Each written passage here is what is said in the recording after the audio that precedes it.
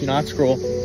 I want you to share this with people right now and let's spread the word of God. The devil does not want you to hear this message. He's hiding this message from you and he's blocking it from the plans that the Lord has for you. This is what the Lord is saying to you right now.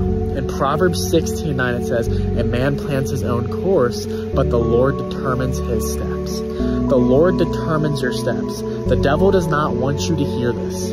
He doesn't want you to hear that the Lord determines your steps throughout everything that you go through in your life. Why? The devil tries to snatch and to come in and to destroy.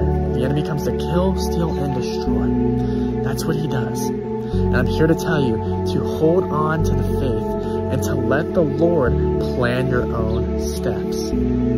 He is hearing your prayers. He's listening to you and he wants to deliver you from the evil.